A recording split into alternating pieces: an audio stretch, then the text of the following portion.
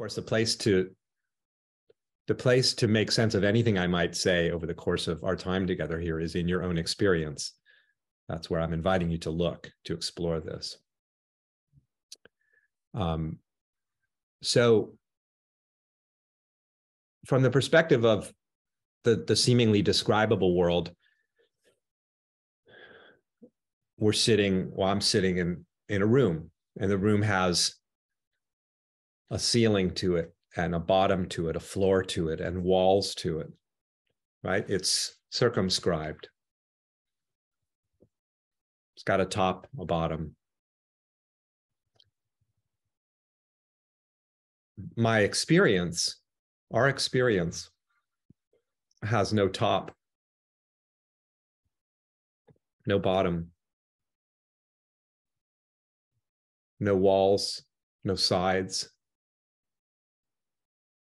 feel that feel how you cannot find a top or a bottom to your, your experience. Feel you you're feeling that right now. The, the the experience you're feeling right now has no bottom to it. It's not resting on anything. We could say it's just resting in more experience but without a a bottom to it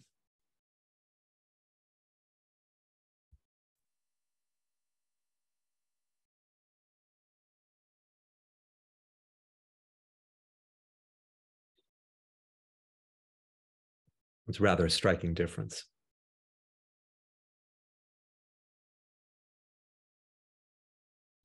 In the in the seemingly describable world, there are insides and outsides. There is an inside and an outside. There's what's inside of me and what's outside of me, inside of the body, outside of the body, for example, right?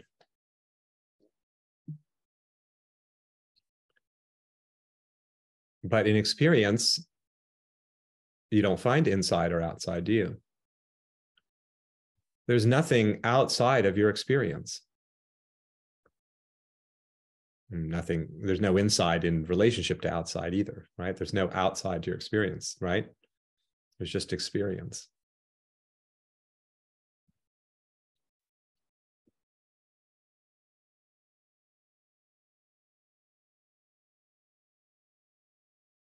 You'll never get outside of it. Those categories don't even compute from the experiential perspective, inside and outside.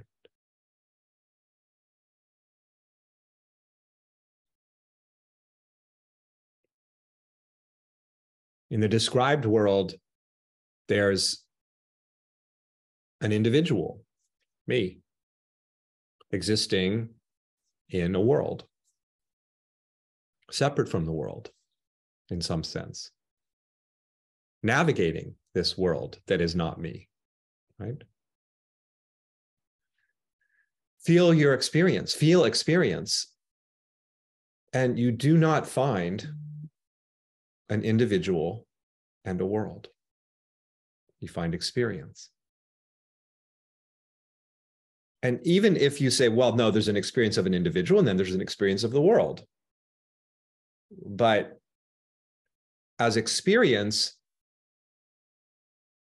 you don't feel, you don't find an edge to the experience of you, a kind of a stopping point, a gap, and then the world, or like some sort of demarcation between the two seeming experiences, self and world you find a continuum of experiencing, don't you? You don't find, you're not experiencing an individual and a world right now. You're experiencing a continuum of, cannot say really, but just feel that the seamless nature of the experiential field. That's very distinct from the concept of being an individual living in a world, navigating a world.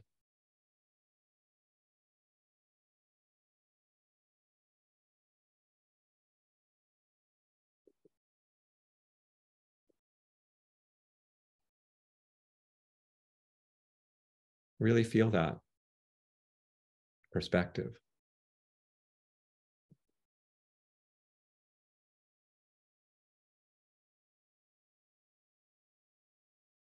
Let yourself enjoy that perspective of no boundary, no lines, no seams in the fabric of experience, seamless.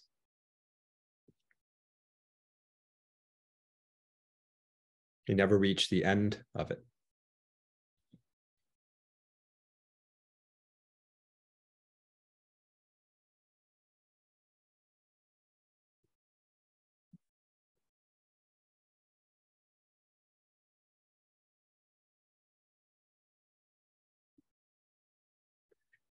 In the seemingly describable world, there's time.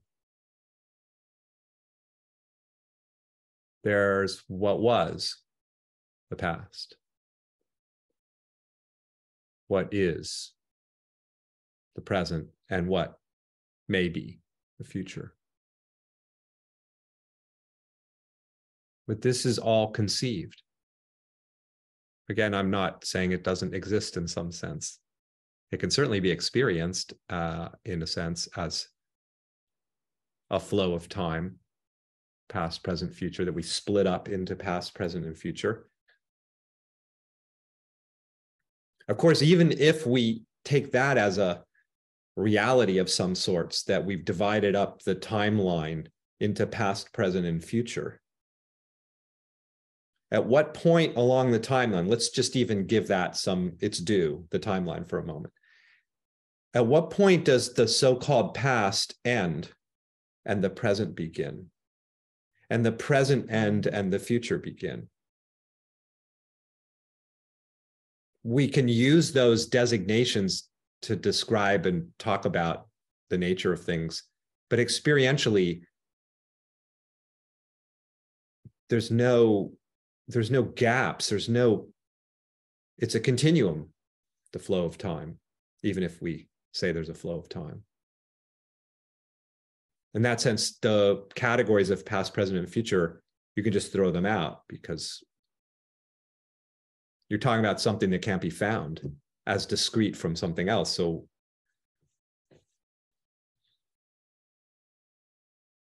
at what point does this moment what we call the moment become the future? Right now in the very instant it becomes the future and what became the future instantly becomes the past in the moment that it becomes the future. I mean that sounds like crazy talk but it's actually what you're experiencing.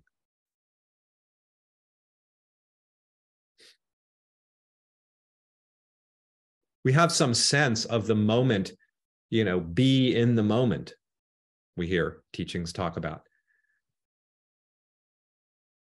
Okay. So feel experientially now, like this instant, like real time, not what was, not what might be, but right now, this instant, this pinpoint of flash instant, feel that. How small is that pinpoint? How long is the pinpoint here for? It's not graspable, is it? It's just absolutely like It has no duration.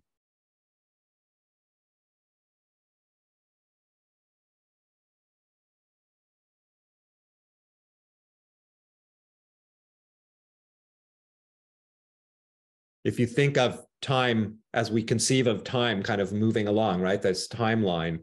And it's like a train coming, coming, coming, like and then when it reaches like me it will let the moment will have arrived and then here's the present moment that i experience and it's like but the dynamism of what's here experientially feeling the dynamism the aliveness of this moment it's like the the train never actually arrives because the train of now never arrives because it's moving and so we could talk about it we could talk about it being kind of oh the moment freezes in time such that i can talk about it and name it and describe it and hold on to it. But it's actually the, like the train, you're there, you're on the tracks, and the arrival of the train is the departure of the train, isn't it?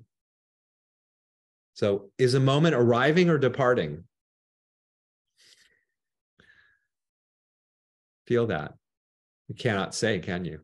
It's both, isn't it? Which logically speaking makes no sense. But again, we can feel the reality of both arriving and departing simultaneously. In that sense, there's no there's no moment.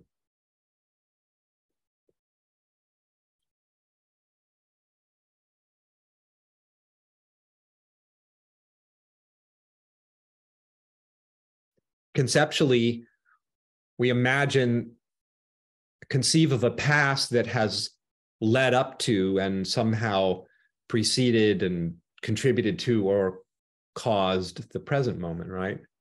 Experientially, we don't find a past at all that has led up to this moment. You don't find that in your experience.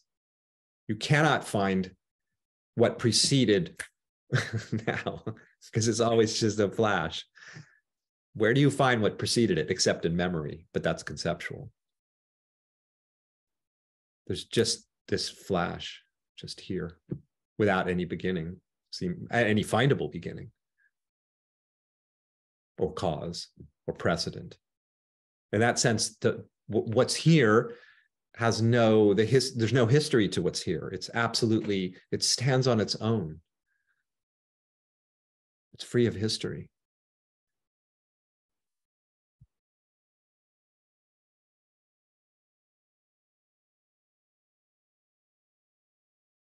So again, we have these concepts of time that in the described world, and in the experienced world, it's completely bizarre, like what time even is, if there even is time, if there even is a moment, if there even is duration to anything. It's so slippery experientially, just vanishing, vanishing, vanishing, yet paradoxically always here.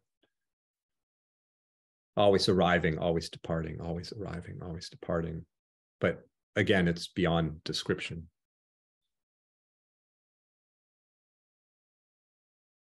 Beyond time. Conceptually, we also have a sense of space. I'm here, spatially speaking, and then something's over there. That's the sense of space, right? The distance between here and there, and the space between here and the refrigerator's over there, and I'm here. Experientially, there's no here and there. Is there? Well, where does here end and there begin? Where does there end and here begin? It's seamless. In that sense, experientially, there's no space, spaceless, locationless. Where are you right now? You can only place yourself spatially in reference to something else, right? I'm here as opposed to somewhere else. So ah, here I am localized here. This is all conceptual. Experientially, you don't find location because there's only here. There's no there. Like I said, you can never get outside of experience. You can never get outside of here because experience is always here. It's not there. There is no there in experience, right?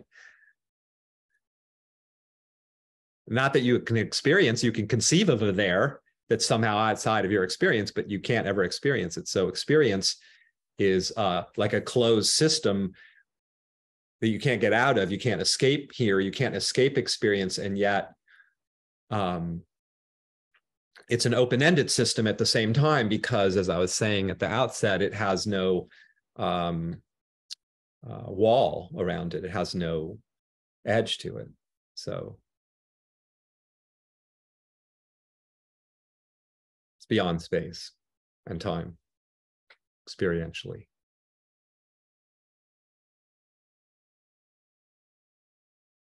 in the described world, there are people, places, things, circumstances, events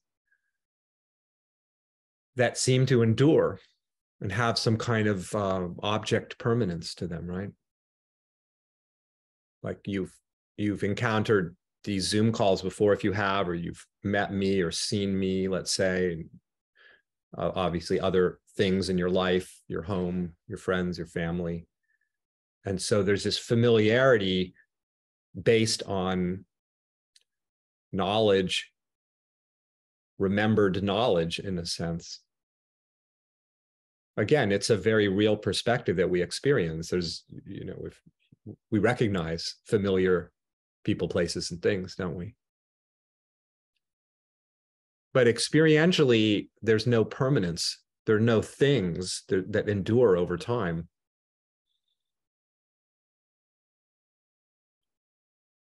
You could look at me and say, I've seen him before, if you have. And so there's, again, there's this familiarity, but as you, the perception that you're having of the object, the visual object of me on your screen is dynamic and it's changing in every instant. It has no permanence.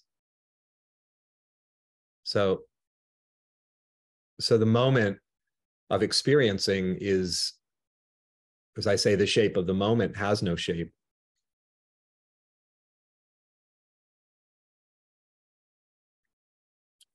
It's uh, constantly shaping, we could say, but it never really takes shape.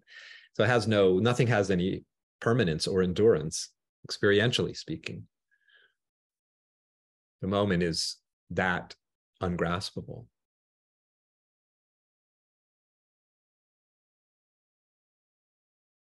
So all the concepts that ensue from that perspective, that seemingly describable world of being an individual, navigating a complex world, at times, maybe much of the time, or at least some of the time, struggling to make sense of the world and and not be overwhelmed by it, keep ourselves safe from the potential slings and arrows of misfortune and uh, including old age and death and on and on and on and on and finding happiness and well-being and securing this that and the other thing and um,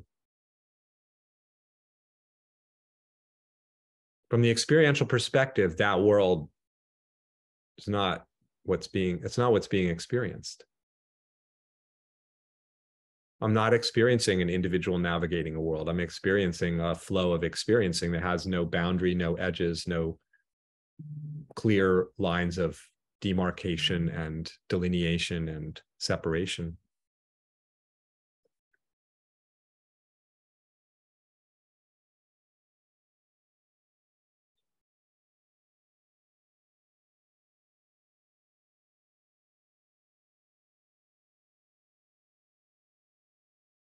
And so, you know, to put a point on this whole exploration, from the perspective of the described, the seemingly describable world, I'm an individual trying to find something if I am.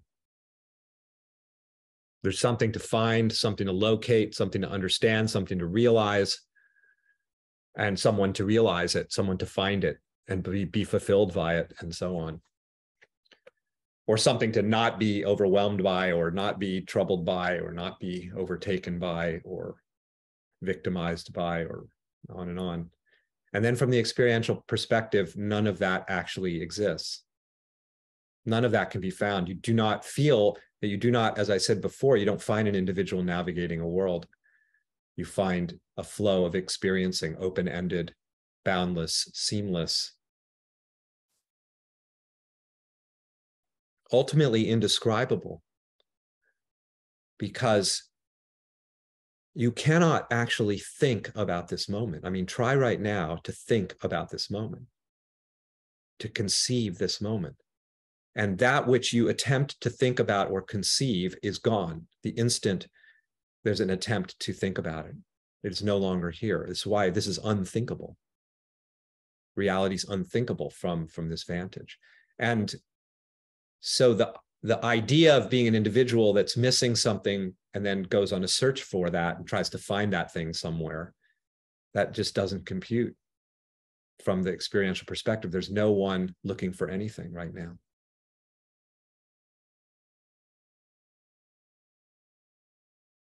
No one missing something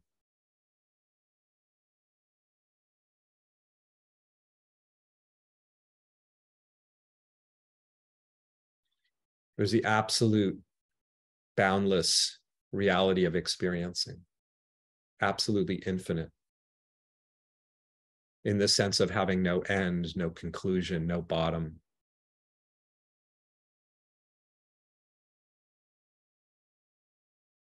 And it's a fullness beyond measure, the fullness of everything.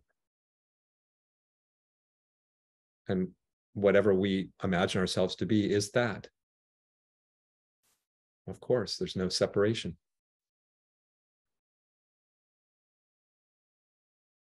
There's just this wholeness. No top, no bottom, no inside, no outside.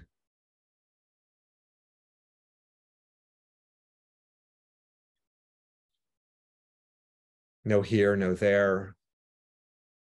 No before, no after.